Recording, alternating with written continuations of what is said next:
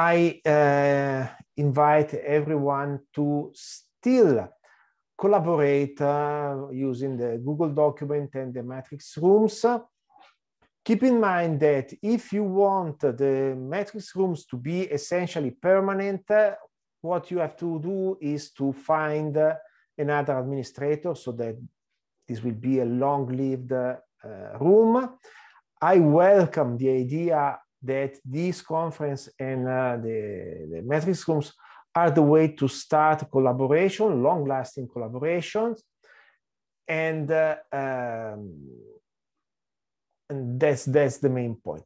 So we have a final question from Massimiliano. Do you know a good resource to learn about r-index? So um, one, one good um, one good resource is the, um, I would say the, the original paper, uh, which, uh, okay, my share, um, I, I, I will link the, the paper in the, in the chat.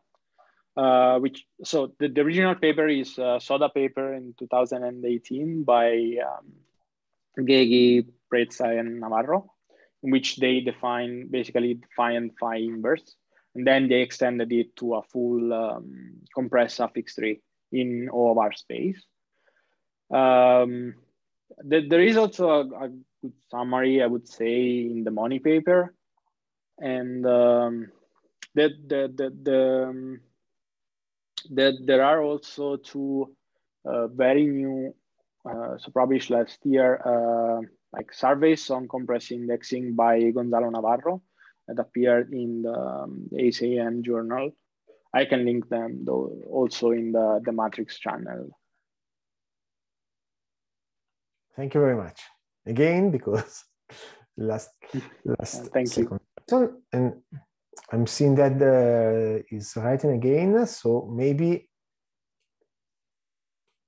okay.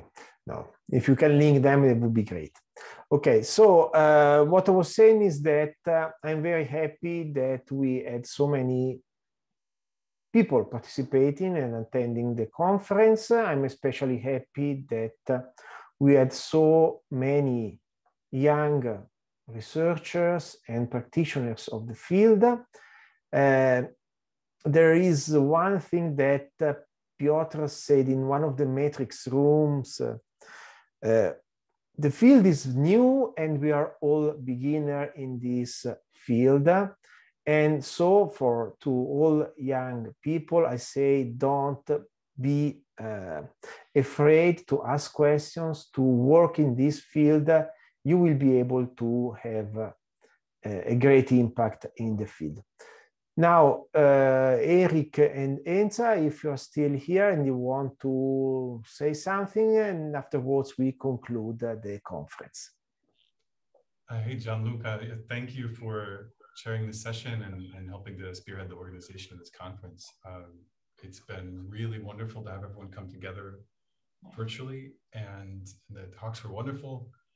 I simply hope that this is a nucleation point for many future collaborations between people who've who've arrived here, and uh, I hope that if you've you know made an account on Matrix and you're you're using it for this particular conference, you'll, you also try to continue you know, interacting with folks that you've met uh, in this way and uh, all, all of us who help to organize and, and the folks in our groups are, are you know available in the system which is really nice because it lets us all have these porous groups and collaborations and, and i hope that that's something that we can we can exploit going forward so that although we couldn't be together in person we do have the continued experience of the collaboration and hackathon um, to that to that kind of system.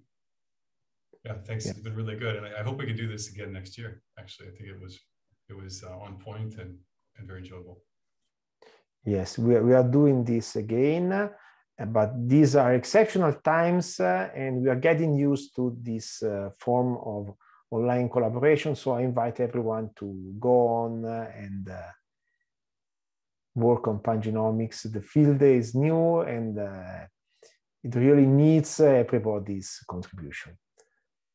I don't know if Enza is still there. I think she may be listening, but might not, not be. Okay, but uh, so that's fine. So goodbye, everyone. We hope to see you all in person the next uh, edition of this conference. Uh, it was a pleasure to have you all here and hope that you have enjoyed it. Goodbye, everyone.